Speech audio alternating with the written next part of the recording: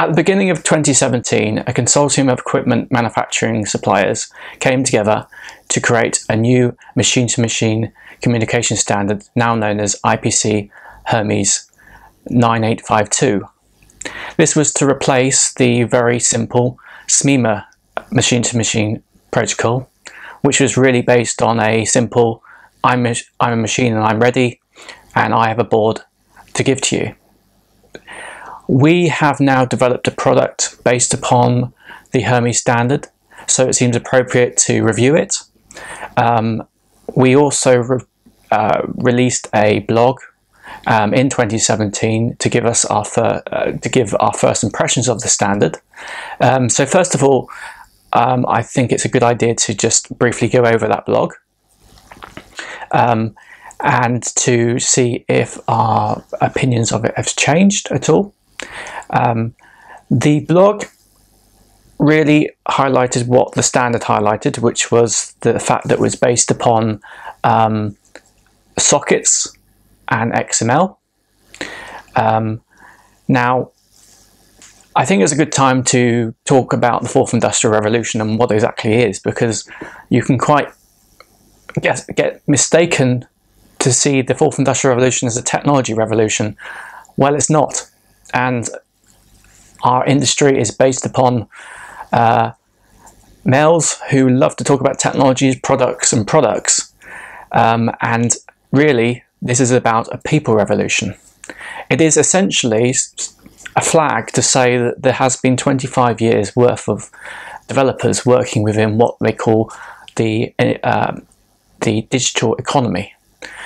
And those people have gone off and basically digitalized other businesses. Um, and quite often, these um, people have used the web, and the web has matured in that period of time. So, what the, what the fourth industrial revolution is, is the alignment of the two industries. And so, what we need to do as our industry and manufacturing is to make sure that we're talking the same language as that of the digital economy. So the, the question is quite simple, is to go up to someone working in the digital economy and saying, these are the technologies we're going to use. Do you use them already? And if they do, then there's a, there's a, there's a, a lesser of a um, understanding and a ramp up of, of what we do and what they do. So I think that's going to be the, the baseline of, of or the, the, the measure I'm going to use when I'm reviewing the Hermes standard and to say, would someone in the digital economy understand it or use it, the technologies of, the, of today? So XML and sockets. Would someone in the digital economy using web, web um, using would they be using sockets or XML? Uh, I think the answer to that is no. XML is a meta language. It encapsula encapsulates the data and essentially it was the flavor of the month or the flavor of the year at a particular point in along the last 25 years. It was native in C Sharp or .NET languages, um, but it replaced many other meta-type languages of before, and more importantly, others have been released uh, after it. And so, while it, the meta language, you still get the data you need, but you have to process that meta language. Um, and if we can avoid having to uh, map different meta languages to other meta languages, then that's probably a, a, a first hurdle to prevent. So let's look at the digital economy. Digital economy is based upon web. The, the quite well-known uh, logic language of the web is JavaScript. And what does JavaScript use? It uses JSON. Now again, to to move between the XML and JSON, there's not a lot of difference really. You know, it, it, it, there are there are libraries out there that can quite easily move between the two. So it's not a big hurdle to change, um, but it is a, a bit of a flag that maybe we're using technology of yesteryear. Let's now look at sockets. Sockets are very basic ways of communicating over a network. They essentially use IP addresses and port numbers. And the intention was that you use a different port number for all different services on your network. That created a problem, still creates a problem today, because firewalls block certain ports and but generally have some other ports open already. So you're again you're creating a barrier to a plug and play utopia. Sockets, by their nature, by their term, by their, their name, sound quite heavyweight. Sounds you just plug it in and it starts working and you've got a connection. The reality is that your connection could be lost and you might not know it until you you message uh, you create a message um, and you will get a connection disconnected. And so that's why the Hermes standard has a um, um, I believe it's a, a live message. Basically it's a ping message. And you keep sending that out with the intention that if the, the, the connection disconnects then you can quite quickly reconnect it it seems it seems like a lot of these problems have been fixed in the past. Again, we've had 25 years, and it seems that this is a a protocol that's trying to replace a simple protocol. They're trying, therefore, it's trying to keep it simple, stupid. But at the same time, there's a lot of problems that have been fixed in the past that we could have bundled into this standard from day one. And again, the difference between XML and JSON is not a problem if you have the, the, the kind of the deployment or the deliverable that you can quickly do an update. Um, so that's sockets and XML, and I have the same opinion I'd had when I wrote the blog in 2017. Since then, I have uh, uh, we have used the standard on our product. Um, and so on the whole, it's just XML messages, but it's often XML messages that are uh, send and response messages. And there are other technologies out there that do this out the box. So uh, so the, the Hermes standard basically says you set you send a request and then it sends something back, or you just push push some information out. Um, there is a language, there is a sorry, there is a, a communication standard that is very well known, and it's called HTTP. HTTP, by its nature, you send it out a response and it gives you the whatever you want back. And within the HTTP standard, there are lots of options that could have been used here. So one a good example is you actually sometimes send out what you want back, the, the meta language you want back. So you could have said, I want XML back. Here's the request, I want XML back. Here's the request, I want JSON back. Or I want a, a format that's maybe legacy or whatever within the industry back. And so HTTP would have been my flavor of use here. With HTTP, there are gets and push um, gets and posts. So with all this data stuff, what you're trying to avoid is a state machine. HTTP is tries tries to be stateless, uh, which means sometimes the state machines of machine of your connecting machines get out of sync, and so you need a situation where both it's pull data and push data. If I'm switching on for the first time and I'm suddenly in a in a, in a line, then I might want to pull the data from machines next to me so I get those data, the, the data, and they respond to me. Um, the same with pushing data. You can post some data to a to a endpoint that's kind of registered with you in some some regards, and uh, this was all this is all baked into HTTP. HTTP also works over port 80, generally, by default, or port 443 for secure. Um, and again, you're not having the problems with firewalls because you're you're you're using that port for that purpose, but also you can bundle in other services on top of that, and you can direct those services once you've got through the, the initial port 80 problem, or could be a problem if there's a firewall problem.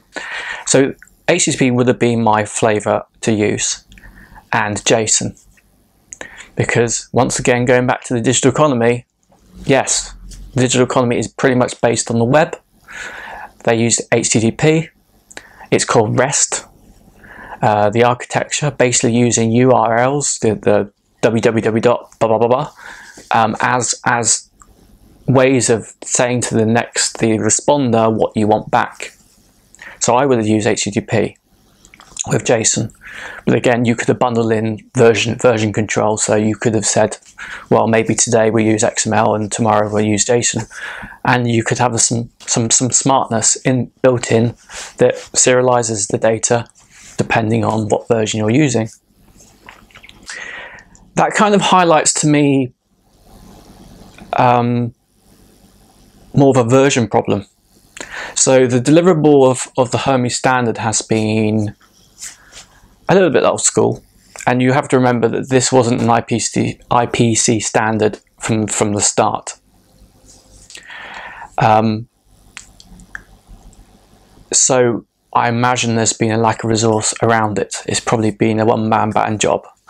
Um, but what it, what I have concern now, I'm raising my points, and we weren't originally allowed within the consortium because we weren't a, a software, um, we weren't an equipment manufacturer, which was a good thing because what it, that actually did is allowed us to go away and use the standard without being in the club.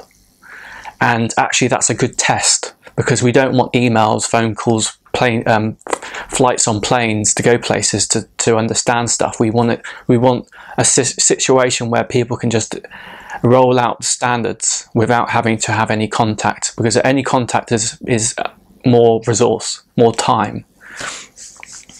But now I'm making my points. My concern, because of the way it's been rolled out, because it's been rolled out on, in a document um, on a website, but there has been a test harness, which is great. Um, there is C++ code or C, C code. Um, but what happens now when we want to go to version 1.1, 1.2, 1.3, 1.4? Does everyone basically get stuck on 1.1? And that's where an SDK would have been useful. Um, as I said, there is software, uh, there's a code for a C implementation of the standard. We were supplied a wrapper for C for .NET. Uh, we didn't use it because there was so much serialization code um, that .NET does out the box. And we also just used that as a reason to understand what was going on. So we, we, we've done what we shouldn't have done, which is implemented it from scratch. But what do we do in the future? What happens with the deliverable? There's no SDK. Now, in the modern world, in the digital economy world, what you have is a repository of code. You might have lots of languages. You might have C, uh, .NET, Java, and maybe even a, uh, a kind of Node.js kind of version, or maybe even a Python version. You try and cover all the kind of high-level bases of all the languages.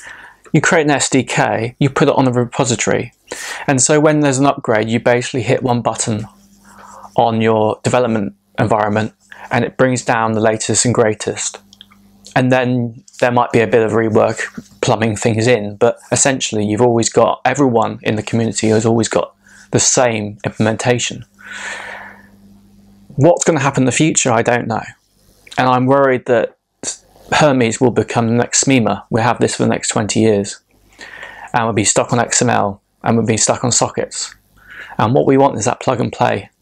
We want that discover what's on your network, click a button, you say, I want to connect to that machine there, and it, and it then just connects. There's no IP addresses, there's, there's no port numbers.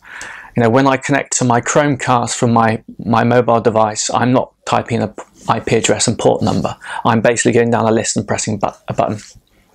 So I'm worried about the future of the standard.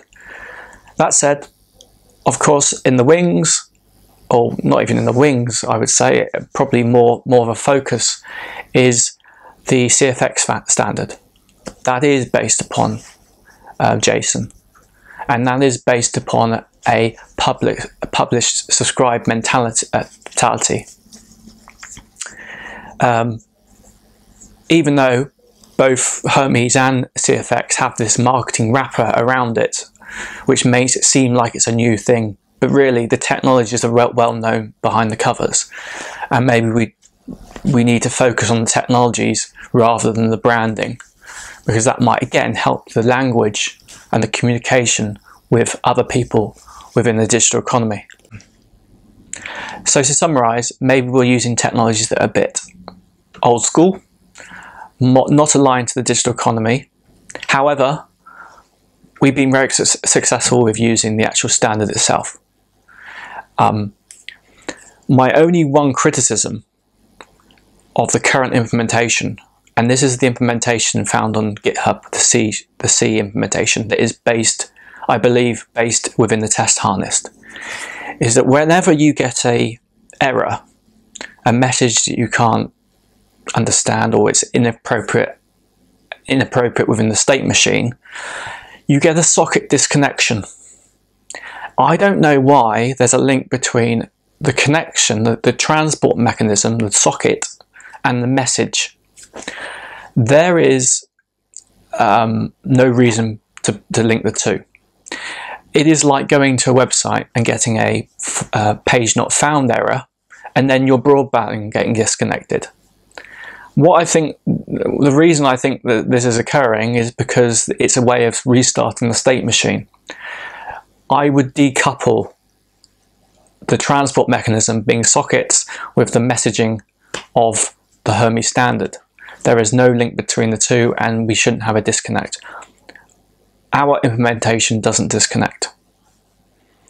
But uh, I hope that's an easy um, improvement to make um, but again, it's based upon the code on GitHub, so I imagine anyone who, who's implemented it would have implemented the same thing. So again, it goes back to how are we going to version control this stuff. I think that um, it's doing its job today, but I worry for the future. And um, of course, what I see is an alignment between the CFX standard and also um, naturally, uh, hopefully things will evolve. But I'm hoping that people, developers who implement this standard, are thinking about the bigger picture.